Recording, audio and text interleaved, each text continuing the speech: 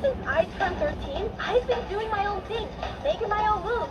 24-7, 365. I wear what I want, say what I want, and I will not hesitate to do a spontaneous cartwheel if I feel so moved.